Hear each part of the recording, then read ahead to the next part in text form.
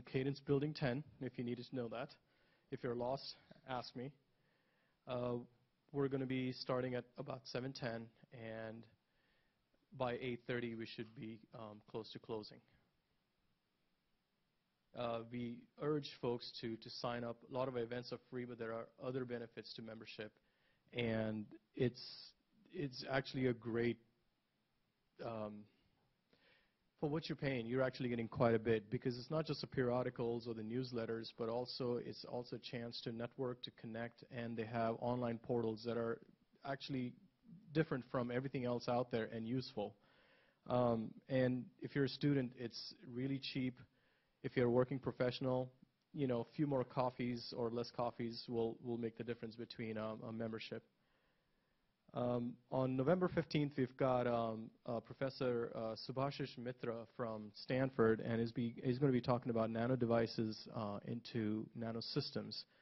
And uh, the N3XT, the next, it's a, um, a sub-project within, within the school, and he'll be talking about that. Um, really interesting individual. Come, come check it out.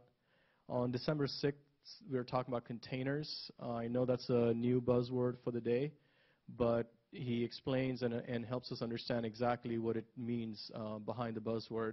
And Vipin Jain is, is the lead developer at Contiv, so you can also check out his work prior to um, lis listening to his talk. Uh, these are, including me, the folks that you know make this thing run. Uh, we have Aaron Lauer, who's our secretary, uh, Prakash Ramchandran, who's our vice chair, and this person who's helping us with the AV and running up is Trevor Myrowitz. Um, please give him a round of applause.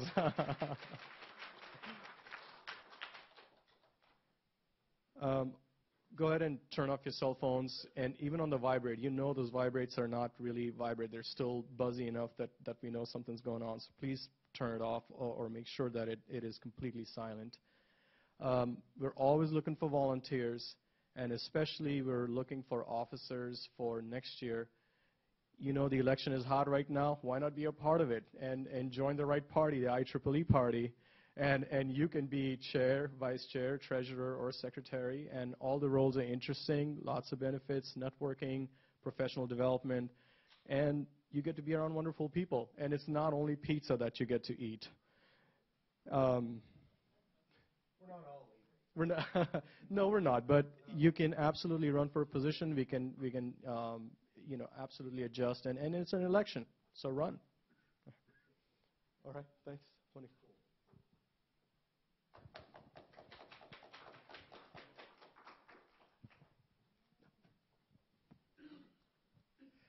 And now I get a uh, chance to introduce our uh, our speaker tonight, and I'm going to take just a minute because uh, I hope that uh, that you'll see that this is actually kind of a little special to me. Um, I found Elecia through her podcast, uh, Embedded.fm.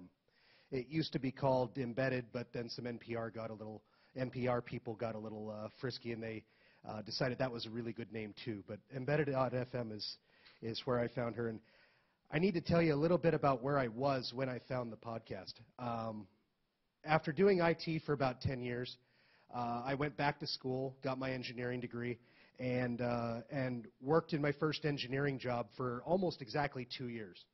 And then, without warning, they came through and laid off 10% of the people in the entire company across the board, myself included. And they told us, uh, they told us about a month later that uh, the board revealed that, oh yeah, by the way, we sold the company. That's why we let you all go. So I was out on my butt. I uh, had desperately searching for a job, and there really wasn't a whole lot to be found in Reno, Nevada, where I'm from. So, in addition to looking for a job, I was looking around for places to learn more about embedded engineering, which is really what I wanted to do.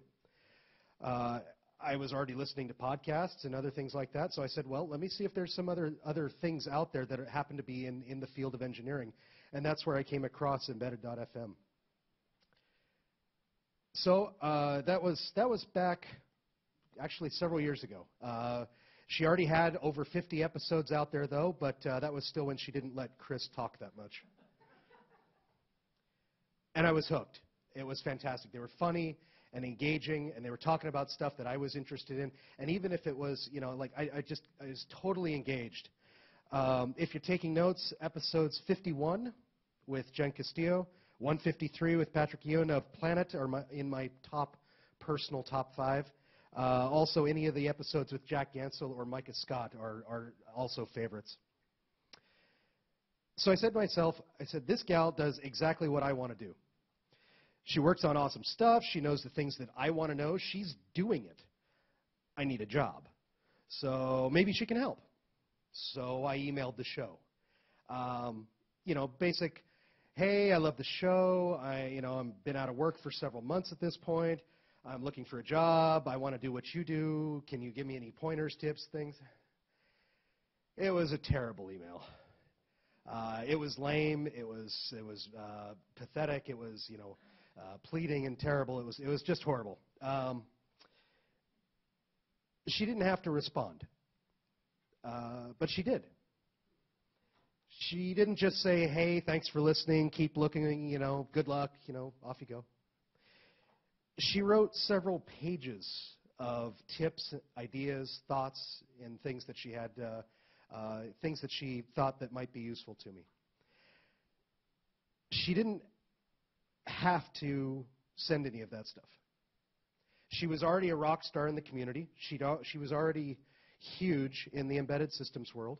She'd already written the actual book, Making Embedded Systems. And she wrote the book. But she took the time to spell out some basic things, stuff that, uh, stuff that I hadn't thought about. And she took the time to kind of lay that out for this knucklehead from Nevada. So now, fast forward, I did find a job and, uh, and moved to the Bay Area. And now Chris and Elle both are people that I uh, am privileged to call friends. And so it's with that that I now get to introduce our speaker and guest this evening, Elecia White.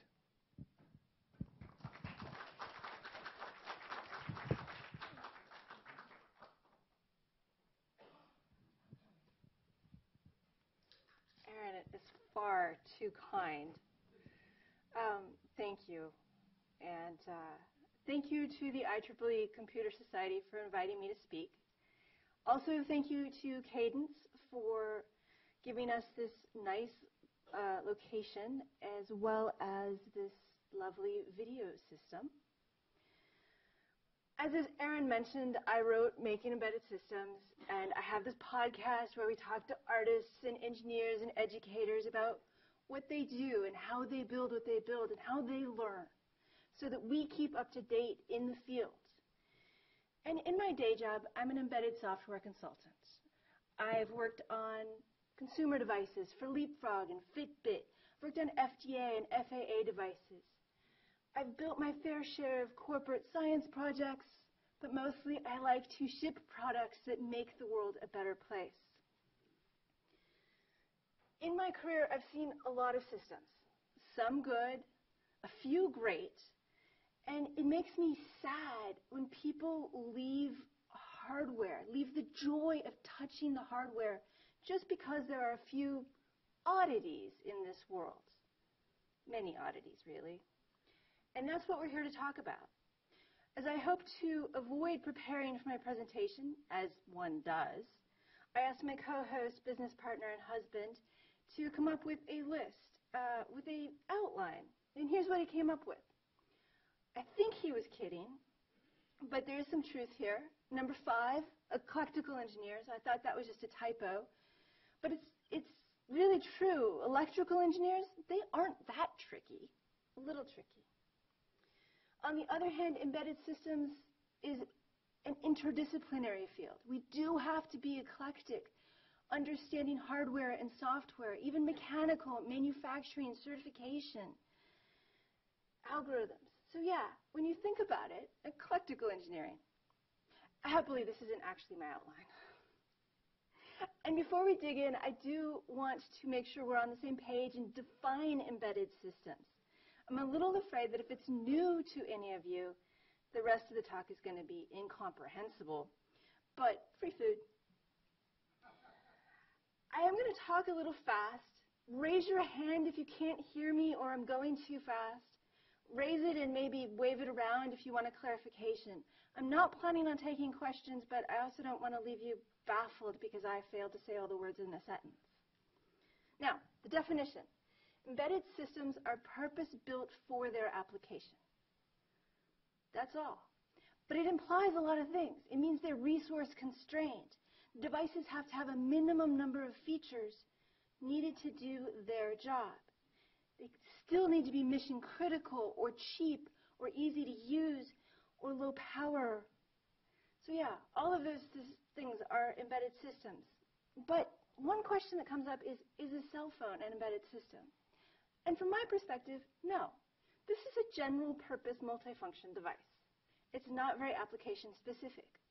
But for the poor person who has to write the driver so that when I turn it up, the motion system kicks in and turns on my screen, that person probably thinks they're working on an embedded system. Opinions differ. I think we need a specific example. No, the other way. There you go. Let's start with the idea of a simple consumer product, an internet-enabled light. So many projects boil down to an internet-enabled light. But maybe our our IoT light is a holiday light you can leave up all year long and it changes automatically for the, the day of the year. You'll never forget Valentine's Day if your house starts turning pink on fe February 1st. Or maybe it's like this light where Aaron and Chris and I ran around a park waving it wildly with different patterns in order to get this painting picture thing. Or maybe it's a door light that comes on when you get home because your phone's in range. I want to make fun of the IoT light concept because Internet of Things just deserves to be made fun of. But there are some applications, some interesting, useful, real applications. And that last idea can only be done with BLE. So let's make it an Internet of Things BLE light and go on. To get funding for this idea, we'll need a proof of concept we have many possible platforms, many possible uh, processors, and the Qualcomm lines are cheap, but nearly impossible if you want to write your own code. And the TI CC2640 is an awesome processor, probably one of my favorites, but its dev kit is big, and at $300, not really a good proof of concept. Nordic line is popular and offers many examples. It's easy to get a lovely, small, board from OSHChip or BLE Nano or all these people. So we go to Adafruit or SparkFun and we type in BLE. I know it sounds like that's sort of odd because those are maker hobbyist sites. But there's some advantage to that.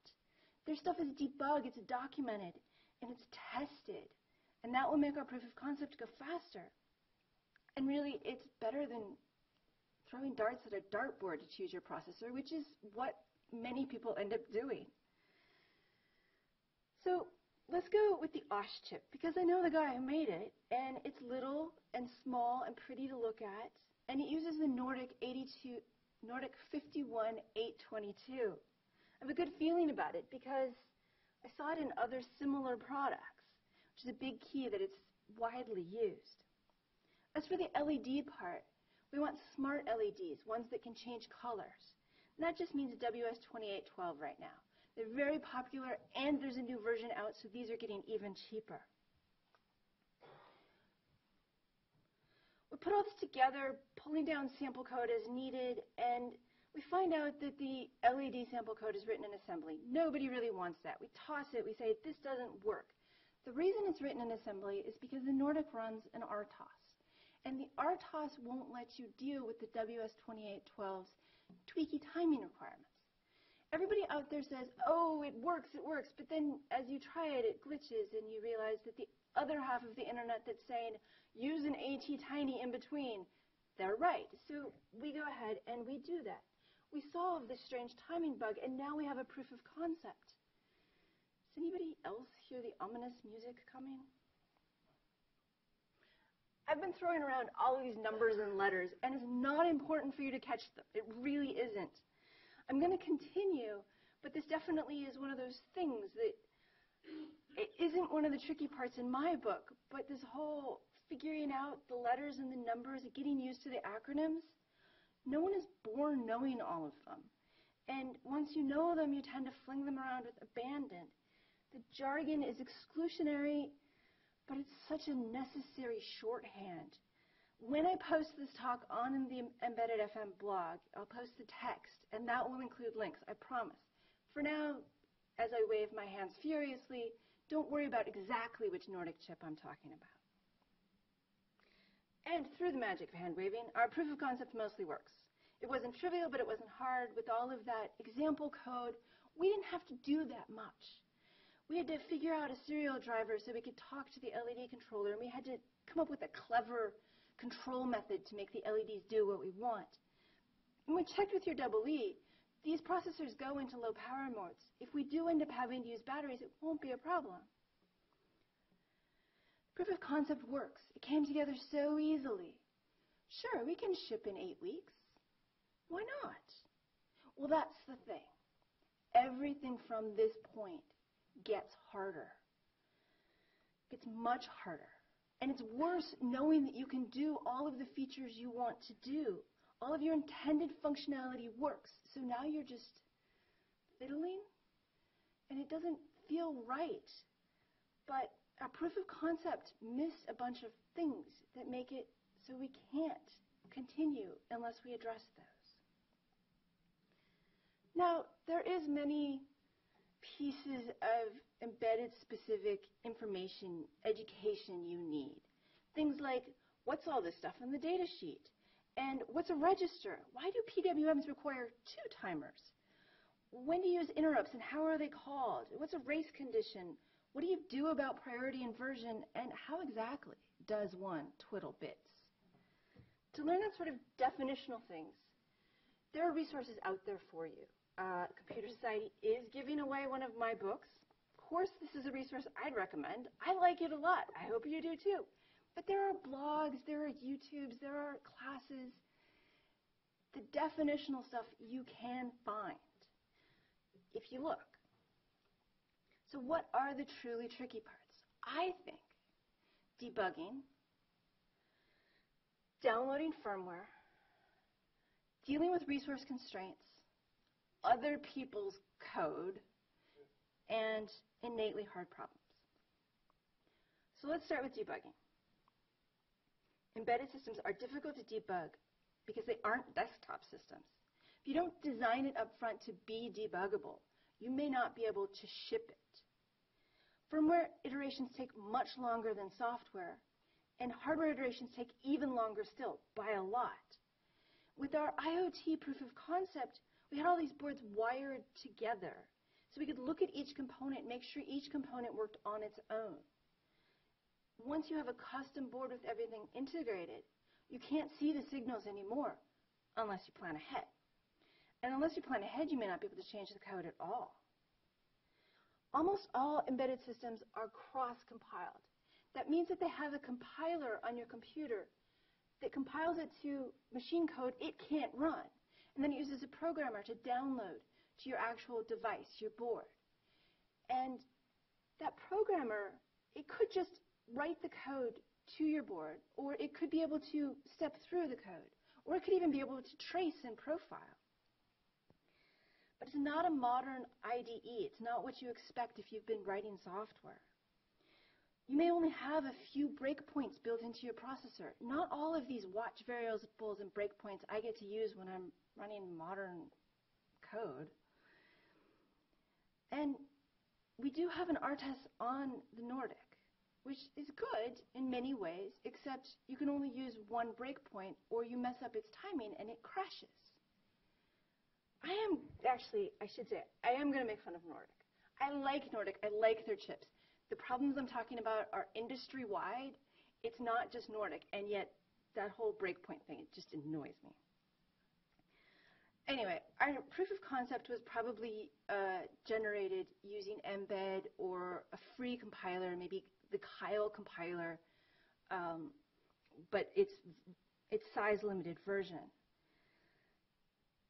The reason we would use the Keil compiler is because that's what Nordic uses. That's what their SDK is built with. Nordic's Getting Started guide, their tutorials, it's all with Keil. And mbed has some of those things, and the development platform, the OS chip that I chose, has a getting started with mbed guide. But mbed's online, and many people don't want to rely on an online tool. And once you see Keil's per seat license, well, then you start wondering if GCC is the way to go. People talk about it working. And I certainly hate paying for tools for compilers of dubious quality. I had a better desktop compiler in 1998. But unless you have a large team and a lot of resources to throw at the problem, you don't want to spend all your time trying to figure out why your compiler doesn't work. Is it some combination of linker file and processor configuration, pixie dust? Overall, buy the best tools you can afford. That's true for hardware and software. Your time is precious, and debugging is not really a good use of it. Of course, you could do test-driven development, but that has its own set of problems. The code deployment cycle from editing to actually running takes several minutes which isn't that bad in some other deployments, but you're just trying to fix the GPIO to go one way instead of the other. You have to start planning. Are you going to type at problems, or are you going to think about problems? And one of the challenges is when the problem is hardware. You're going to need more tools for that, different tools. So instead of spending money on the compilers, you start looking at the oscilloscopes and the logic analyzers. Your voltmeter can tell you if things are connected together and if a chip is even powered on. An oscilloscope can tell you a lot more than that, but you have to know how to use it. Their interfaces are not necessarily intuitive, especially the software engineers who have a plan on how it should work. And the electrical engineer comes and twists the dial, and you're like, that's not right at all. I should have pushed the auto button. The auto button should work, and it never does. A logic analyzer is also useful. It's a lot like a, an oscilloscope, but more digital signals. It lets you snoop between uh, communication protocols. You can look at SPI, you can look at UARTs and serials. But again, you have to pick up the manual or watch YouTube or whatever you need to do to learn in order to get a good grasp of these tools before you can apply them to your problem. And sometimes you have to figure out, you have to realize that you are not going to solve this problem by typing at it. You have to spend the hours associated with setting up the right tool in the right way. And it's a pain because they're fiddly little and maybe you need wires and all of that. But not everything can be solved simply. Not everything can be solved without looking at the signals. It's sort of sort of like it's science but cooking is like chemistry, and yet you still end up with a lot of difference in the practitioners of cooking. Of course, you have to make sure the signals are available on your custom board. What you want to remember for that is during the schematic review, this phrase will come in very handy. Where are my debug test points? Just keep saying that over and over again. It'll occasionally cause your ED to really get frustrated, but then you ask them about ground loops and then they go off and it's fine. You will need to learn how to read a schematic. But again, I think that's tedious, not tricky. It's a shorthand. You can get that from a book or from a blog. And I want to take this time to note your bare board is not the same as your computer. Not only is it sitting there naked and unprotected, where coffee is sure to let out the magic smoke, it may be rare. Your first few prototypes cost a fortune because you sampled the parts. That was free, but there are only 10 of them. And if you mess this board up, you may not be able to get another one. It's going to make developing the firmware very difficult. Depending on the design, there are ways to destroy your board through software. It's kind of tough to do that to your laptop. But flash locking, enabling the power at the wrong time, draining the battery too low, or bad bootloaders can all turn this board, this precious, rare board, into a brick. So let's check in with our IoT light. Here you can see the connection between the compilers on the top and the programmers and the chips that we chose. The UART with its two lines goes between the Nordic and the Atmel, and we can use that to sniff the interprocessor communication, figure out what they're saying to each other and how that's different from what we intended. but we still can't see anything that's happening inside the Nordic. We can look at the SPI, we can look at the UART, we can look at the LED stream, but the Nordic's a black box. If BLE is working, we might be able to put logging information over to the phone. If we had a UART, I would say send that to the computer so you could write yourself messages. But the Nordic doesn't have that. It doesn't have a good way to debug at all.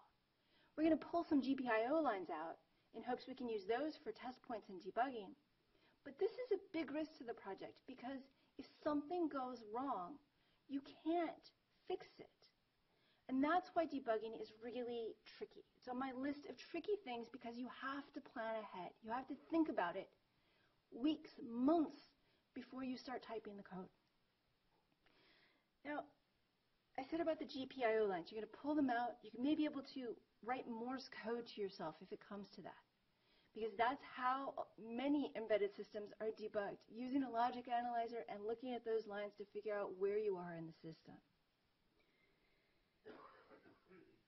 Another way to debug is to make through tests that can run on the Nordic before the RTOS starts. And then you can use your breakpoints. You can walk through those tests. You can verify your hardware before BLE ever starts. And with the ATtiny, I didn't have any way to walk through the code. But it has another UART. I can write printfs. I can debug that.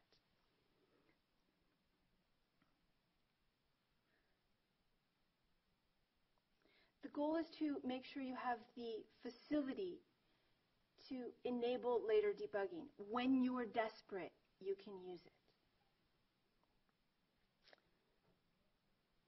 That's starting to look a little like a schematic. You can see how it keeps getting more and more complicated. It's not exactly, but the system's gotten a lot more complex. I added the debug GPIOs up there, and I added a hardware revision over there as well, so we know what revision of the board we're working on. There's this whole subsystem where I added battery, because if we're going battery, we're going to have to be able to monitor it. And speaking of power, we might have gotten away with driving the LED at 3.3 volts for our proof of concept, but it's a 5 volt part, so I put a MOSFET in there as a level shifter. And now the SPI lines go to the Nordic as well as out for the debug. That's going to be important for firmware download, which was my second list, second item on my list of tricky things. We put in pins on our custom board to connect so we can do the programming and then we can use those in manufacturing to put the code in. But what are we going to do when it gets out of manufacturing? How are we going to get our code from our server, well, from my desk where I've done a new release, to a server, all the way down to our boards in the field, to our customers? It's another thing you have to think about, you have to prepare for. There's some thought, well, we'll just have it update over USB. That's what our devices do until you find out just how prohibitively expensive that is, especially when you've already got BLE on board. Nordic has their download firmware update example code, which definitely we should use, but what about the ATtiny? How is it supposed to work in real life on the real board? There's so many painful points around firmware downloads, and I wanted to make the whole talk about that. But that seems wrong because so many processors, including the Nordic, do this semi-automatically. And the Nordic even does it in a relatively safe and secure way, and it still ranks up there as tricky. There are, are many options for how to download firmware. That first one is an onboard bootloader. This runs before the code ever does. And if certain conditions are met, it goes into bootloading mode and it flashes its code. If conditions aren't met, then it goes and it runs its code. That's great. If power is lost midway through, at least our bootloader is still functional. Our code may not be, but at least we can recover. And that's how the ATtiny works. Now, if you were updating the bootloader when power went off or connections disconnected or whatever catastrophic event happened, then you're hosed. You've created a brick, and you can just throw this board away. Hopefully you'll never need to update your bootloader in the field. At least that's the theory. The second option up there is titled Build Your Own Bootloader. Say your code includes the ability to load new code. the new code gets put into scratch space before it gets loaded into runtime space. And so you, you load all the code into your scratch space and you verify it, you decrypt it and then verify it, and then you copy it over. Works pretty well. But you have to have that scratch space, which up here is noted as RAM, but it could be flash, it could be whatever. The big problem there is now you have to have a huge space available for your new code. That's what the Nordic does. And it means that we end up being able to use less than half of our promised flash because we're too busy using it to download firmware. And that last version up there is when you don't have the luxury of space. You can load your loader code into RAM and then you run from it. And if you have the scratch, which now can be smaller, you load the code that way. But if you don't have scratch space, you just load the code directly into your processor, which is a very, very good way to create more bricks. Have you heard this stupid interview question involving a goat, a cabbage, and a wolf? And you have to go back and forth across a river in order to get everybody. That is what bootloaders are. That just represents exactly all of the pain and suffering of a bootloader. Trying to move memory from one place to another and to keep the system locked, safe from being bricked. The Nordic firmware doesn't care about the ATTiny image, and we sneak it in there by calling it part of the image. But that means that our scratch space has to be big enough for both. And so you can see up there, we have the ATTiny image, and the scratch space is the ATTiny image plus the runtime image. Suddenly, our 256K of flash just got carved up so that we're only running 32K of code. And I do have a 32K log in there as well. So when we made the proof of concept, we didn't have to think about any of this. It just worked. And now it's crucial to our ability to fix bugs in the field. Given the schedules these days, it might be crucial to our ability to get the promised features into the field. But it's treated as an afterthought, a very expensive afterthought. It'd be better to fix the code before it left our desk. It'd be better to fix the code before it left the factory. We don't want to fix the code in the customer's hands. And yet, we have to make it possible.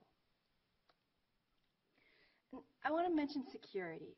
And I mentioned security with bootloaders because your company probably wants you to think about security in terms of their code. To make it so that nobody else can read their code. I hope you think about that, but also you have a responsibility to your users to keep their data private and to keep your device from being destructive to their other devices. There is no universal answer with security. There's no secret to make it simple. It is a moving target. It keeps getting harder and harder.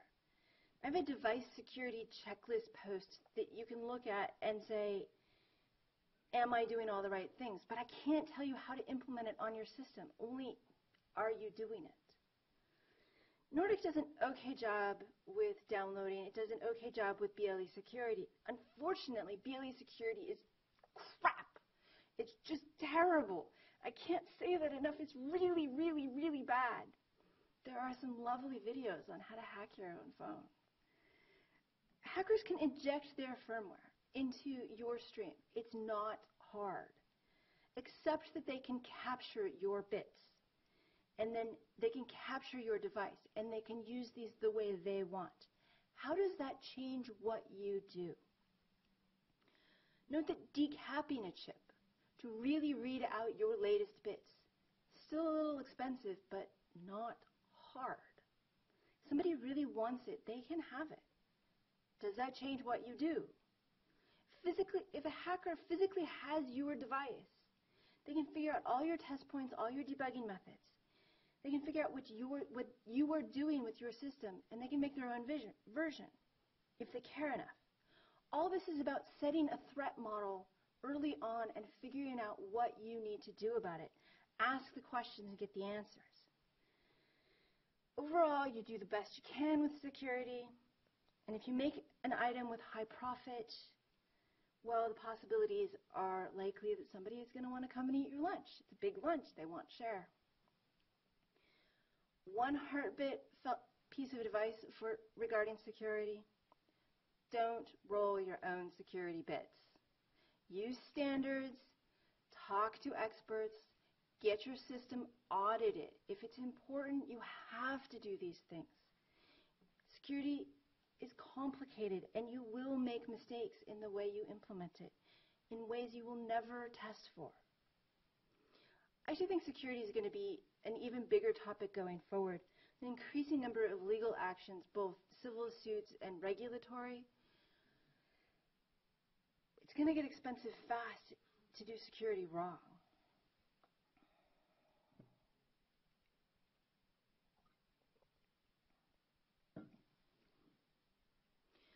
When you start out with your proof of concepts, you don't care about the way things are implemented. It's usually the most straightforward way. Your UARTs are polling, not interrupt driven, and they don't use the FIFO, let alone the complicated DMA scheme that can make it really fast. The vendor examples are written to verify their chip and your hardware. Their goal is to maximize processor sales, not to minimize your RAM usage with firmware downloads, we saw how we can fill up that 256K just so fast it goes by in a blink. You start out with these plentiful, plentiful features, and then they just get chipped away with every feature as you go along to a complete production run. Part of our definition of embedded systems implied that it would be resource constrained. And now we're going to pay for that with our code. The goal is to pay as little as possible and to optimize wisely. So let's look at what our software needs to accomplish when it's just running normally, not downloading firmware. The items in blue were there with the proof of concept, based on the sample code we got from the vendors. We had to rewrite the UART drivers to be more tailored to our application, and the debug subsystem is wholly new, newly built. Interprocessor communication had a lot of feature creep as we talked to marketing. Now there's the whole pattern generation on the ATtiny to support fancy LEDs. Let's say you're doing all that. You're running what you need to run, and the systems start getting strange. Maybe Nordic's RTOS crashes every third day, or when the moon is full, or whenever you send a debug message to the ATtiny. And it is really annoying when it's your debug messages that cause your system to crash. Because you take them out, but it's only a symptom of a much larger problem that you are going to have to deal with and now without debug messages. The key is to figure out what's taking an unreasonably long amount of time and focus your attention on that.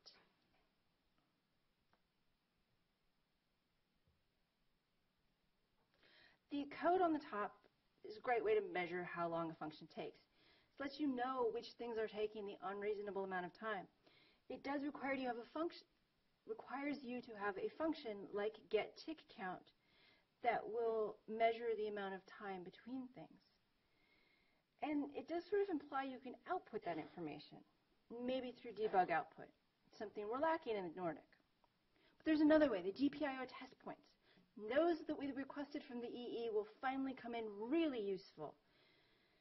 We set them when we go into a function, we set them when we go into a function, and we clear them when we come out of a function.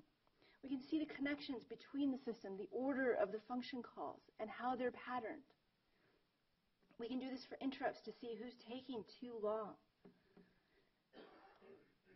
And you can use that get tick count method in this top form where you're measuring each piece to see how long each thing takes. Or you can do the second one where you have to do multiple because maybe your timer doesn't have enough granularity or your function's just too short to measure. Whichever one of those you do, you do have to make sure that you're measuring, you're profiling what you care about and not the profiler itself. And the easy way to do that is to comment out the function of interest and run the profiler on its own, make sure it says zero. Okay, but the last one here is different. The idea is you have a timer interrupt and you look at what where you came from when you when the interrupt happened. You look at the, the return register so that you can find out what function was being called when you interrupted it. This is profiling through statistical sampling. And it's great because you get an overview of the whole system, where your uh, functions are spending time. Of course, it doesn't measure anything with the interrupts off, and you do need a log to figure out where to put all of this stuff because it's going to be a lot. And you want to make sure your timer is uh, maybe a little random so that you aren't in lockstep with some other function that's happening. And you're going to need some post-processing to merge that list of addresses you got into function names, probably in Python using a map file. Which reminds me, map files. Do you know about map files? I know this talk is all about the tricky parts of embedded systems, and I keep saying things like challenging and problematic and complexity. Map files are anti-tricky. They make embedded systems easier. It's a file that the linker generates. It stores where all of the functions are in memory. It usually lists them both alphabetically and by order.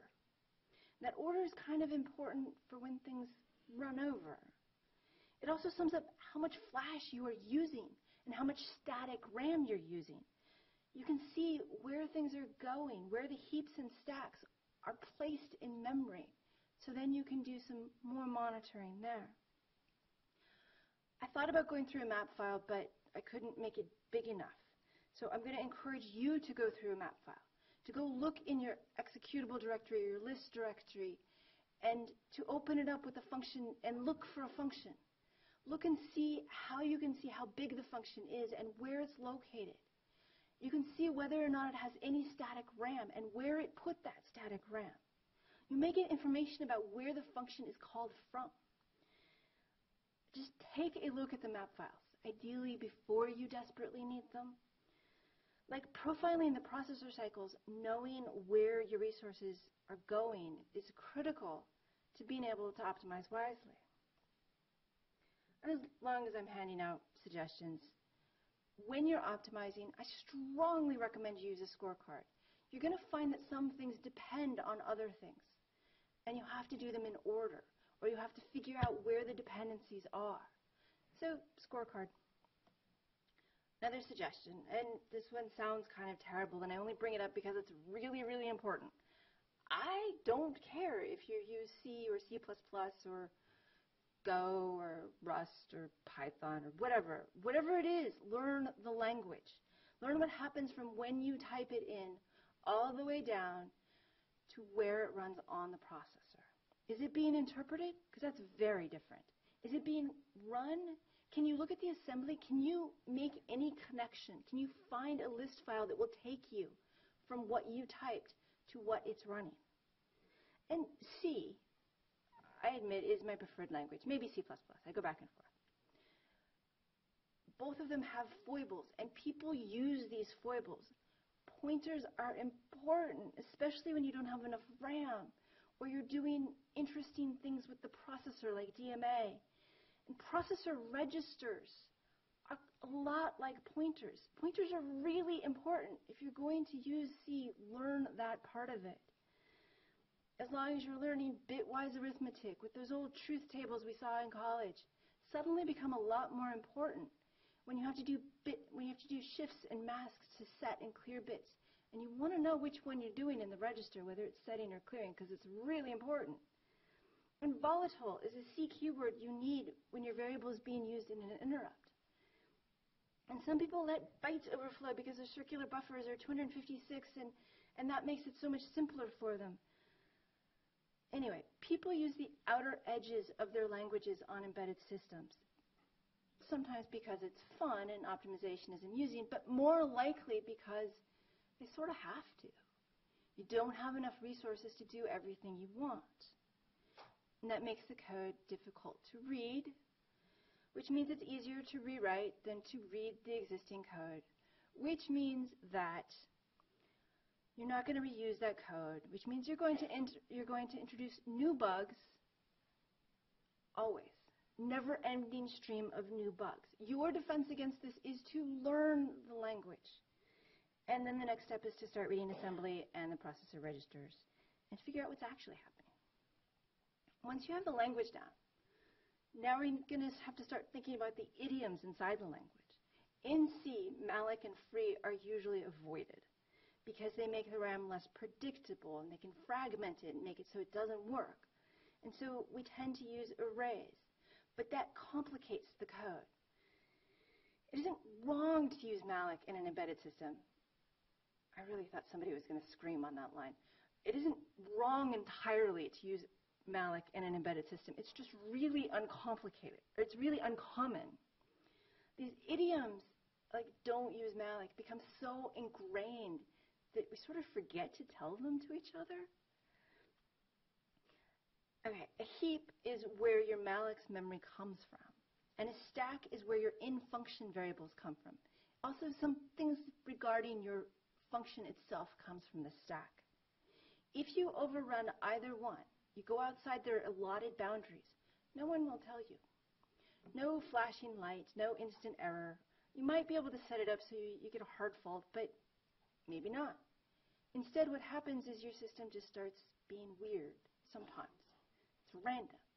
So what you need to do is to look at these chunks of RAM and maybe fill them with known data, FFs or AAs or deadbeefs or dead codes, whatever you use, and then look to see how much you've used after a certain period of time has gone by.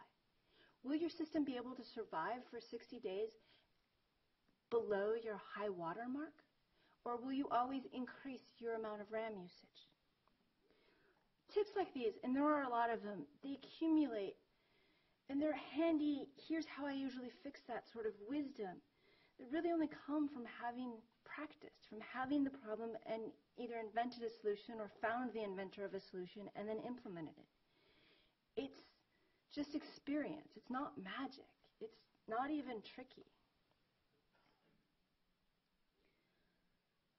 Near the beginning of our IoT project, I shoved in an ATtiny as an LED controller, even though there was an example code available for controlling our LEDs from the Nordic. See, the WS2812 LEDs are controlled over a single wire, and you string them together so a whole string is controlled through one wire, and the commands have to be sent just the right way. They're built up by holding the voltage high or low for a certain amount of time, where that time is between 0.35 microseconds and 0.6 microseconds. But there are different amounts of times you have to hold it for. And those times you have to hold it for are, are plus or minus 150 nanoseconds. It's, this isn't a matter of running out of processor cycles. It's a matter about of the precision of the timing you can get. I've, I mentioned RTOS, which stands for Real-Time Operating System, which doesn't mean you get a lot of precision. It just means that it responds deterministically. And the Nordic RTOS has a latency around milliseconds. That's not going to help our microseconds with nanoseconds. No, that's not going to work at all. These timing mismatches are very tough. That's an area where an oscilloscope and a data sheet are crucial. And sometimes you have to look at the assembly to figure out what's really happening.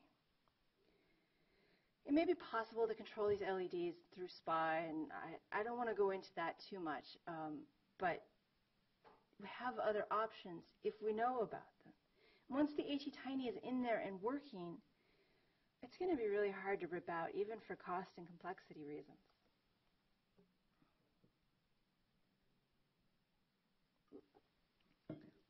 Speaking of things I sort of snuck in, added battery features and low power monitoring because it's such a common resource constraint. And I'm not sure exactly what our IoT Light application is going to be, but if we need batteries, we're going to need them to last longer. Optimizing for low power requires you to understand sleep states. so that slide cracks me up. Uh, the goal is to do whatever processing you need to do and then immediately go to sleep. As with many optimization problems, the first step is to figure out what it is you intend to do. The second step is to measure to figure out if you actually did it. When our lights are on, we are probably drawing lots of current. Optimizing our processor to go from 10 milliamps to 9.9 milliamps, if LEDs are drawing an amp, who cares? That's not what you should be spending your time on. Most processors have different levels of sleep a light sleep with the CPU off, but just about everything else on, drawing microamps, maybe low milliamps. A deeper sleep with the peripherals off and yet the RAM's still on so you can run from where you were and know what you were doing before. That's in the microamps. And then there's hibernation, which is very low, and you can't run from where you were. You restart, but you're still part of the system and you still can wake up, usually through an external impetus, like a, a button press or a GPIO line going up and down. That's in the nanoamp range. All of these have costs, not only in terms of power, but in terms of time. To be able to go in and out of these states is not free. So you have to plan where you're going to sleep, when, for how long, and can you bundle your tasks so you do them all in a row. How much time will you spend in each of these modes? You need to know where your bottleneck really is, and it may not be when your processor is running. You may need to set the GPIOs to their lowest possible power state when you go to sleep. That may be what's using all your battery. Of course, you can't optimize what you can't measure. You have to measure power, and low power things are difficult to measure. The lower the consumption, the more difficult. Your $30 voltmeter probably works fine when you're drawing milliamps, maybe even microamps. But if you're down in the low microamps and, and nanoamps, now you have to deal with this thing called burden voltage, which means that your measurements are going to be bad and that your electrical engineer needs to come over here and set up a proper tool, or you need to rent a proper tool. All these little ramifications going around about these tools, and the details all are important at some point. Optimize doesn't mean make things small, it means make things right. Okay, moving on from resource constraints, probably the trickiest of all things about embedded systems are all the things you don't get to control. All the things that aren't your code. Of course, there is the hardware. There's this great cosmic battle between the software engineers and the hardware engineers, and the embedded people are in the middle, hopefully, on both teams, not on one or the other. And we want to mitigate the risks associated with hardware by making good board tests that anyone in the team can run. And we want to read the errata and the data sheet so they don't bite us later. But that's a skill you have to practice. Your software is really only as stable as your hardware that it runs on. You and your hardware person are a team. And if you aren't, that's a big red flag on your whole system. Your board tests very likely will become manufacturing tests because as you go from a proof of concept to production, you have to be able to build these boards in quantity. And firmware is where you support that. So you plan ahead a little bit with your board tests, knowing they're going to grow, they're going to go on and do other things. You may need to deal with environmental and certification needs because there's nobody else in your team who knows how the board works as well as you do. In your proof of concept, we got to make a mobile app that just was a debug mobile app, one that probably came from Light Blue or, or Nordic itself. But now we're going to have our own, our company's mobile app, one that we didn't write, and yet we have to interface to it in a way that works for both of us. And if it has to download firmware, it has to get it from some cloud server and has to securely go all the way through. You may not be able to control other people's code. And the tricky part of that is just accepting it. And I mentioned we started our system from the sample code. This is another version of code that you don't get to control and you're going to get pretty angry about. Demo code and reference designs are there to give us a foothold, but they don't know how we're going to use it. They don't predict all of the cases and applications. If something comes up, there's a bug in the Nordics download system or some tweaky BLE feature that we are the first people to use in their SoftDevice. They give us new code, they fix their bug, yay! Except their new code is not backward compatible with their old code, and all of their interfaces have changed. This happens across the industry often. It's so frustrating. But I suppose all the software engineers know about this. I mean, Python 3.0, looking at you.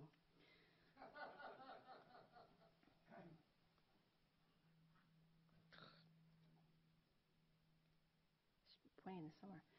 Uh, the last area of tricky things are the application-specific things.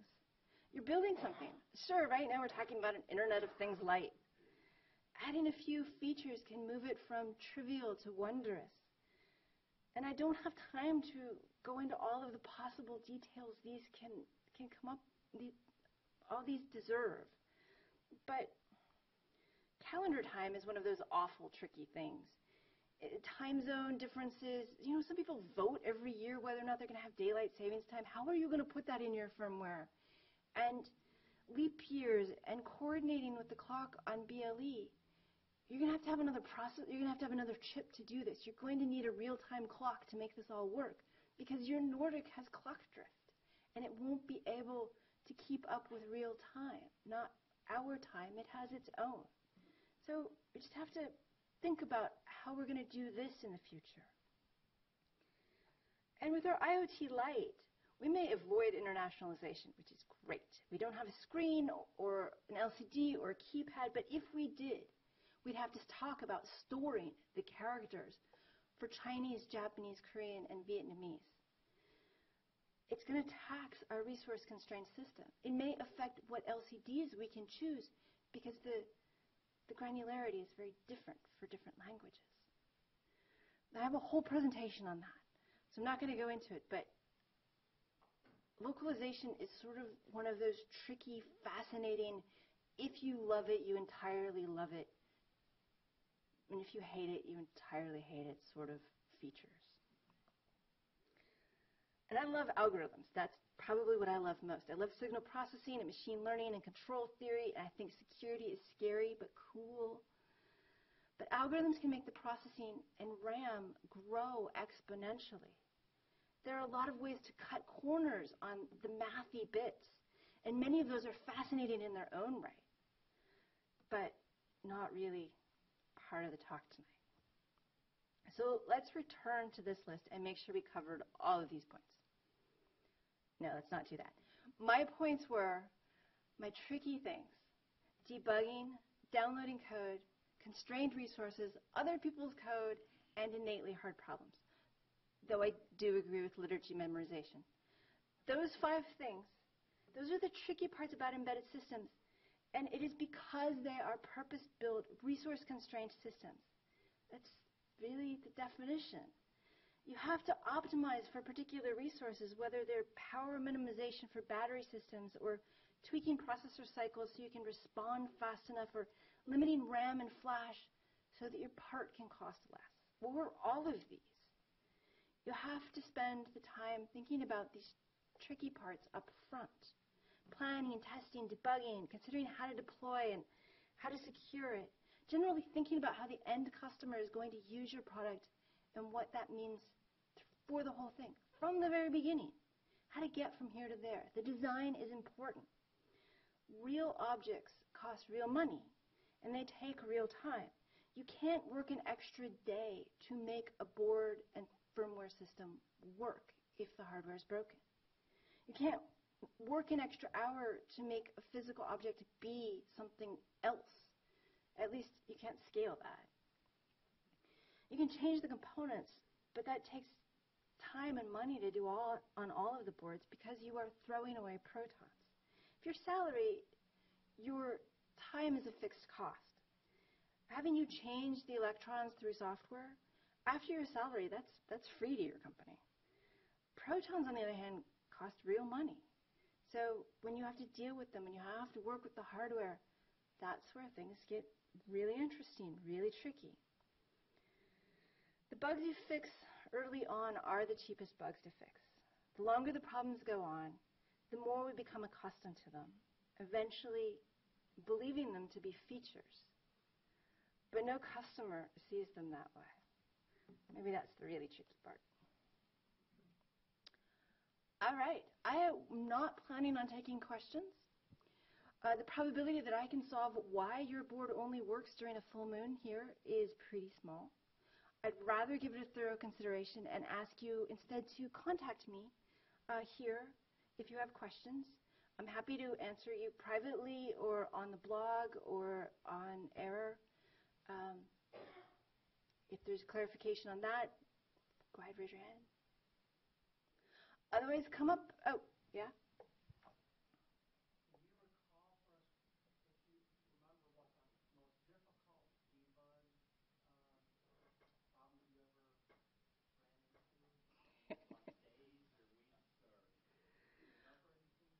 Uh, the question was, can I recall the most difficult debug problem I have encountered?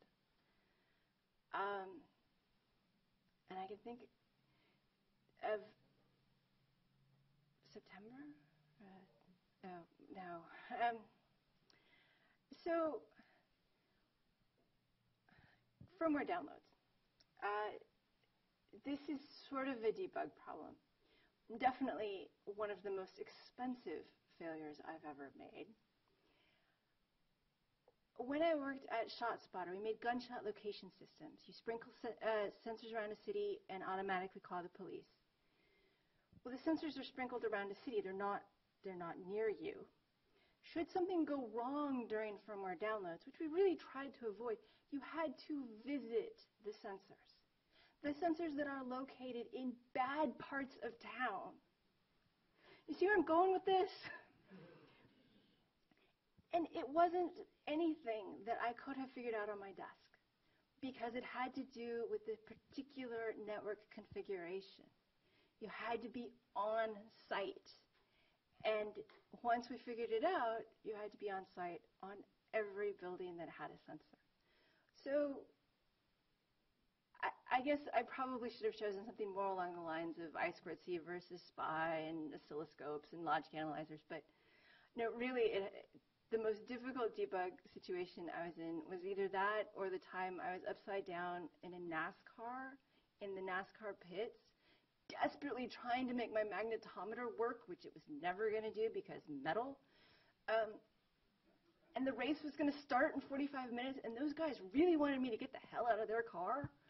Yeah, that was, I mean, difficult debugging often for me involves anything over 110 Fahrenheit. the time I melted my hiking boots in the desert. Uh, yeah, um, trust me, I would be happy to do that for the next hour. Okay, if you want an Embedded.fm sticker, so you remember to listen to the show or you just want one because they're kind of pretty, uh, please come up and get one uh, right after Aaron gives it away. The the book. book. Indeed. Let's give a big hand to Elecia. Thank you.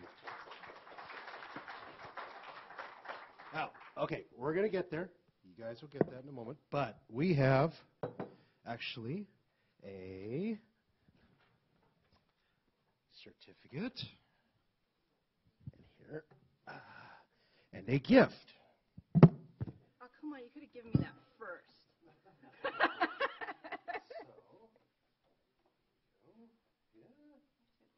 I know, I know. I wanted you to see it. So. Yeah. So there you go.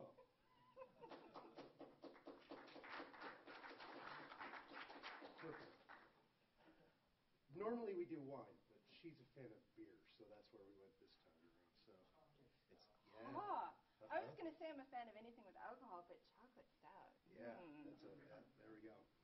Thank okay. you. Now you have to set that down. I do? Maybe I maybe I shouldn't have given it to you. Yeah, I. It's all right. I need at least one hand free. Okay, I've chosen one. Does anybody want to bribe me now? Now is a good time to bribe me. Oh, by the way, did I mention that she signed it for you? Ooh, how about that? All right. You guys got your tickets? Oh, they have tickets. They have tickets. They got Oh, the that- other oh, side. that See? You guys got your tickets? I didn't know how this was going to work. Yeah, no, that's all right. They got tickets when they when they signed in in, in the front. Uh, I think uh, seven four zero. Everybody's there. Five seven zero one. Hey, all right. There we go. There we go. Perfect. Very good. Excellent. Well, guys, thank you very much. Appreciate your time. And uh, uh, remember, we have a talk coming up on uh, November 15th, as well as another one on December 6th. So uh, be sure to check the website. Also, I'll be sending you guys an email about, about those shortly. So thank you again, Elecia, for coming out and Thank spending you. some time with us. And uh, thank you guys all for coming out. If there's pizza, take it. You know. Thanks, guys. We'll see you next month.